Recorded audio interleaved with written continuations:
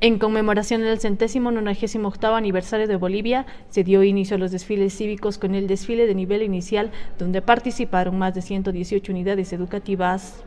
Las maestras de la Asociación de Maestras de Nivel Inicial somos las que organizamos con el apoyo de la distrital y la departamental, eh, y donde es el civismo que se enseña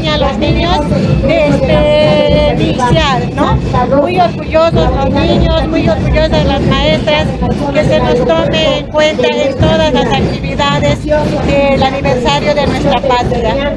Son 118 eh, unidades educativas las que están participando.